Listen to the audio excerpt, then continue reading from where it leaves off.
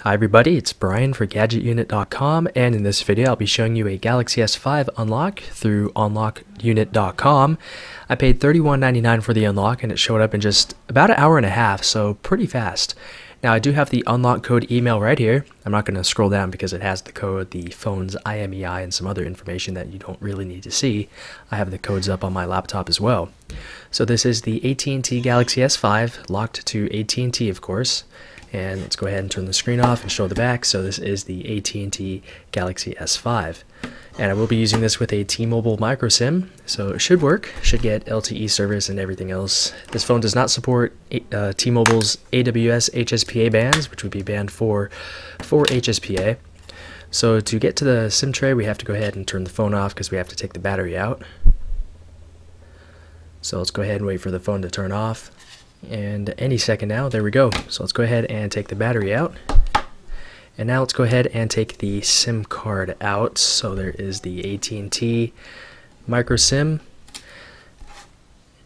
Now we'll just slide in the T-Mobile one and put the battery back into place and put the back cover on. And let's go ahead and power the phone back on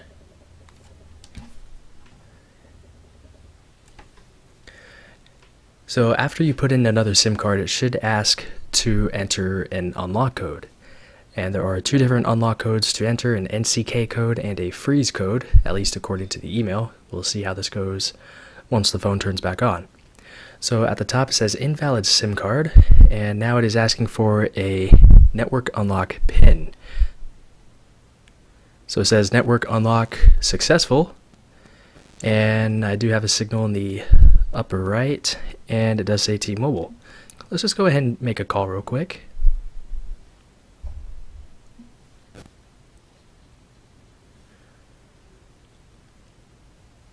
So right now I am calling my iPhone, which is right here, of course, and there's the call. We could go ahead and answer it, and looks like the phone is working. Just waiting for a data connection to show up. I think that one thing we have to try to do is go ahead and change the access point for the data connection. So I'm going to go ahead and change it to what it had before, which I believe is the old EPC APN, and change it to the newer one that most of their devices use nowadays.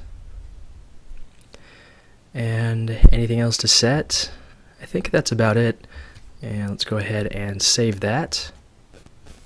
And just like that, we are now connected to LTE. So let's go ahead and open up a website and see what we have. And from the looks of it, it looks like LTE data is working just fine, and it is pretty speedy, much faster than AT&T in my area at least. And for that little test, we got about almost close to 30 megs down, so that's not bad. So it looks like the unlocked worked, and I'm pretty satisfied overall. The unlock code came in fast. It's a bit expensive in terms of unlocks, but this is a new phone, so of course they can charge a higher price for that. But that's it with this video. If you have any comments, questions, or feedback about this or anything else, feel free to leave those down below in the comments area. But that's it with the video, so thanks a lot for watching, and I'll talk to you all very soon.